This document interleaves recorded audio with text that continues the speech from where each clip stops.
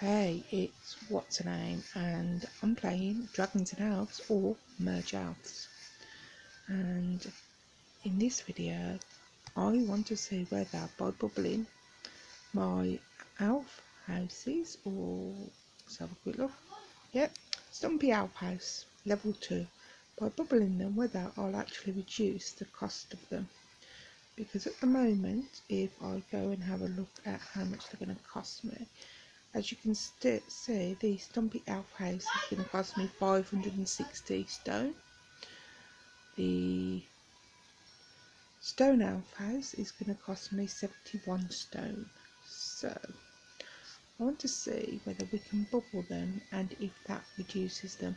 Like in some of the other merge games, such as Merge Dragons, where if you bubble your dragon houses, dragon homes, they reducing price. So I'm trying to fill up the map. Trying to get it as full as I possibly can. So there's no more room left. So I can use these lovely giant golden fruit to bubble these. Never done it before in this game. I'm hoping the results are the same. Trying to get enough of my elves hands full with items to drop but I have a slightly different technique for what I use in this game to what I use in other games because I find the golden apple, the golden fruit can often um, merge and you lose them. So I think we're ready. I think everybody's got their hands full. So let's hold that over there for a second. Then what I'm going to do I'm going to move that over there. That's the place I want to bubble. As you can see my elves are flying along with their loot that they've got and they've got a couple uh well they've got a few um, orbs rough orbs. So I'm trying to heal a bit more land to give me a bit more room did manage to clear up my home and now I'm going to make a mess again oh well. So that's the way it goes. Right come on then are we done? And they're just hovering there which oh maybe not Nope, not yet. So we have to leave two squares on the map because that's all that you're allowed to leave is two squares. So I still have one hovering there with a rough orb. Hasn't dropped it. Somebody else has said there's no space. So let's try this. Let's. Right, I'm now going to let go. Okay. That looks like it's bubbled and all one of the elves are flying into other elf homes. Okay, so let's go and take another look back at what the elf house is now worth. Oh, it's gone down to 59 and that's gone down to 470. So let's bubble some more. Right, I'm going to move this over here because I want them to gather over there. I don't want them to gather all round where I'm trying to actually bubble because they just get in the way. As you can see, everybody wants more space, but I want more orbs. I'm going to do orbs today. Sometimes it depends what you're working on. Sometimes I do stone, because I can work on my stone over there. But today I'm going to do orbs. Something easy to merge that won't take too long to clean up is normally quite handy. So if you don't fancy cleaning them up, you can just pop them up. I'm going to hover over here for a bit, wait for them all to come flowing over. They're lovely little orbs. Nice level orb there. Okay, I'm hoping that's it. Is it? Oh, no, not quite. Are we done? I think we might be done. Right, okay, and they've all come zooming back out again. So of course, once you bubble them, there's nowhere to go. Oh, as you can see, all these elves, okay. Move this out of the way. Oh, don't want to do that. I want to do that, that's what I want to do. Okay, so, zoom in a bit so I can actually see. Right, these are my level 3 homes, so might save my level 2 and bubble my level 3 Let's have another look and see how much they now cost. So my stump elf house is down to 380 and my stone elf house level 1 is down to 47 that's pretty awesome. So let's bubble those last two shall we? Please ignore any noise in the background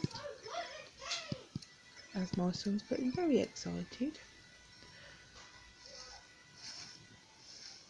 Right, we're going to get some more orbs. do a bit more pretending to merge those and then I'm going to, as you can see, because I didn't move the uh, golden fruit, they're now all hovering over here and they can often get in the way and you can't really see what you're doing. That's why I tend to try and move it where they're going to fill.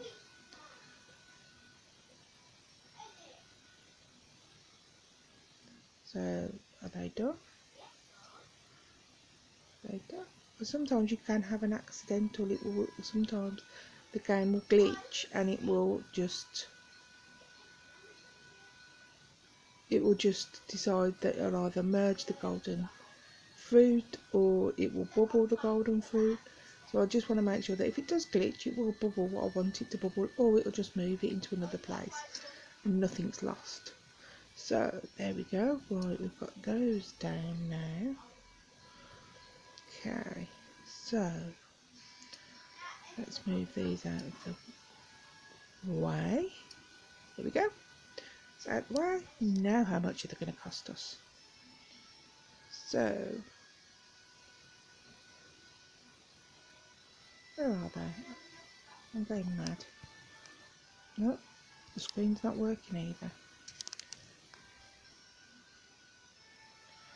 So now we're down to 11 for the stone elf home, which is brilliant and that's what you want.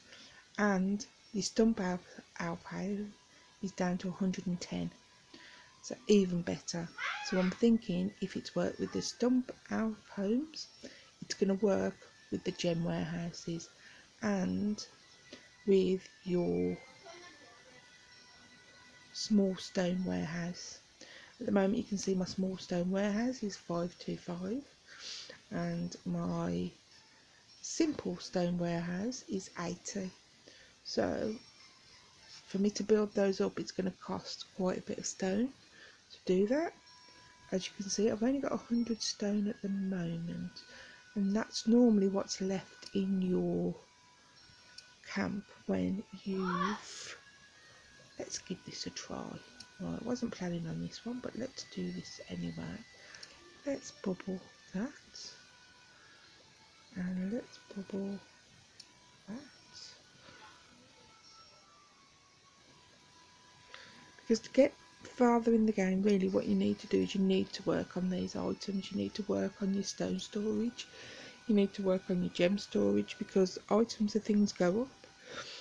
And often you'll find that you won't have enough room in your storage to actually buy anything.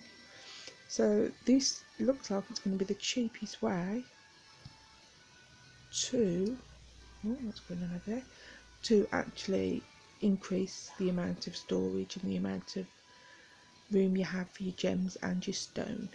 So let's make sure all our elves are back again with their hands full. Should be pretty cool. Give us a minute. Oh, there's two there. I think that should be enough. Let's do this. Okay.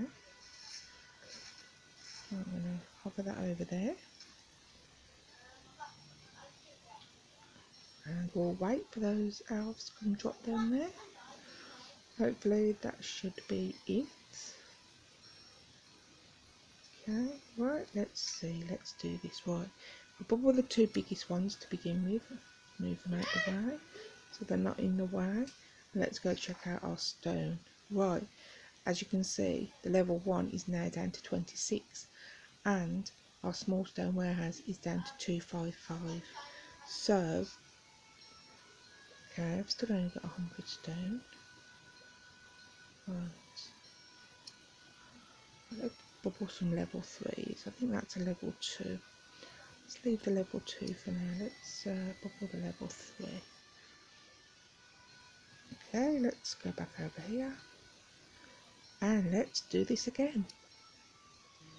It does seem like it gets a little bit monotonous. It does, but when you think of the benefits you're going to get from the fact that you can bubble these items reduce how much it's going to cost you and that way you have to harvest less stone you have to have a smaller you can have a smaller storage for the stone to get them and it also helps with the gem warehouses because they can all get really really expensive after you've got to a certain level right I think that's done there we go. Now let's go check it out again and see what we're up to now. Oh wow and our simple stone warehouse is now down to eight. And our stone stays our small stone warehouse is down to 165 so we can't actually buy the level 2 but we could buy a lot of the level 8 so that would be amazing to actually just increase your stone storage that way. We've managed to reduce the the stone storage. We've managed to reduce the elf house so the stump elf house we've reduced that. I tend to find is you might be better to work on your stone. So when you do want to work on your elf homes you've got enough stone to then if you fancy doing the level 2 there to actually go and purchase it. Pretty much the same with the gem warehouse you do your stone and you have a lot more stone you can actually buy the higher level. So maybe a bit faster to up that uh, those gem warehouses rather than going with the level 1 as you can see my level 1 at the moment is 140 uh, gems. You have to buy the first ones with gems and then the second one the level 2 is 580 but I still have 219 gems in my gem storage at the moment so I don't fancy wasting any because if it's worked on those two I would imagine tell you what let's do a couple of the gem warehouses. Hopefully not too many because I do believe if you do them that you may lose your gems. So let's take a level 4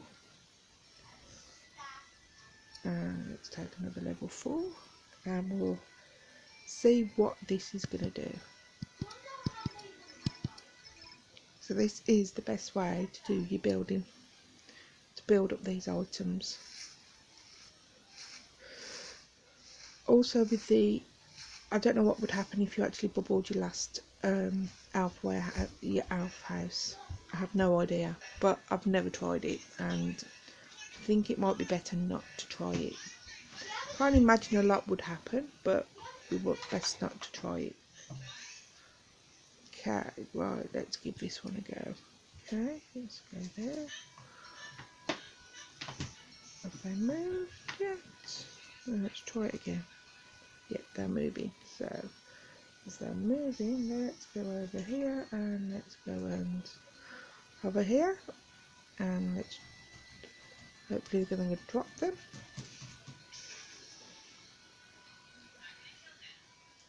Right, I think that's it. Oh no, as you can see, because they hadn't actually filled the land I wasn't able to actually bubble. They moved. So do have to try and be a bit patient. And as I can't see it now there we go. So let's move that over there so I can see it. Right, let's go back here. There you go as you can see it's because they were still thinking that there was there was no room to put them but there was so Okay, are we done? Have they done them? Let's just wait another minute. To make sure that everything's dropped. See one space. Right, let's try this. There we go. See? And because there the land was full, it's now bubbled them.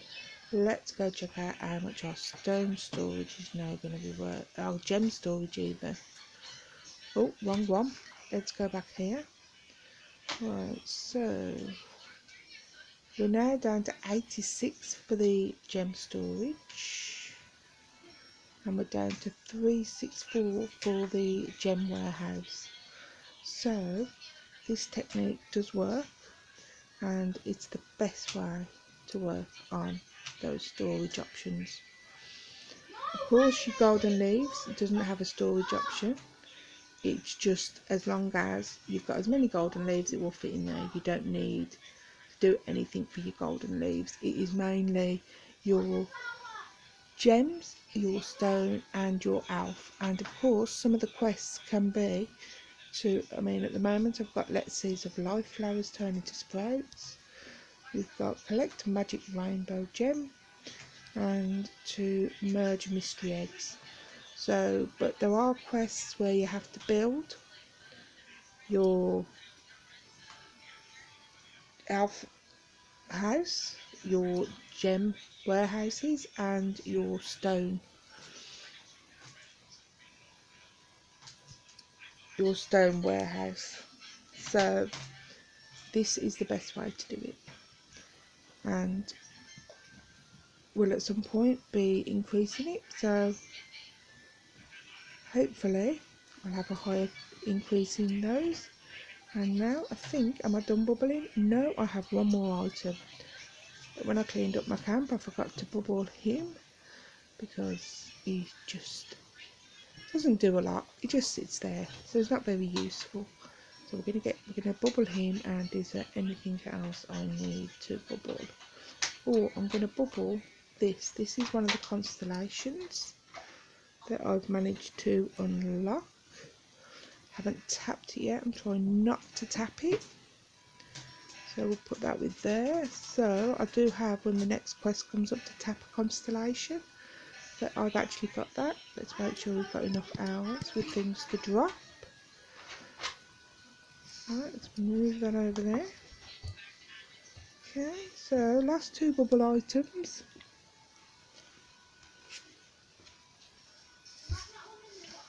Let's wait a minute. Sometimes it can get a bit frustrating because you're waiting for the elves to actually get some items but I want to make sure that they have got items otherwise it's a bigger pain to be holding on to it and hoping that you've got them. And not as you saw earlier where it just sort of went flying. Oh no I don't want those. I want those two that's what I want. I want to get rid of those off my map. Give myself even more room. And I can clean all this up and get back to actually doing something in this home also need to work on some levels as well. So okay are we done? Check. Yes and they are bubbled. So we've now made more room and also I've now as you can see I've got quite a little bit bubbled. I'll probably get told off by the people who do the game but hey ho that's life so move these bubbles out of the way so if you're interested in how to bubble this is the Marcus V technique.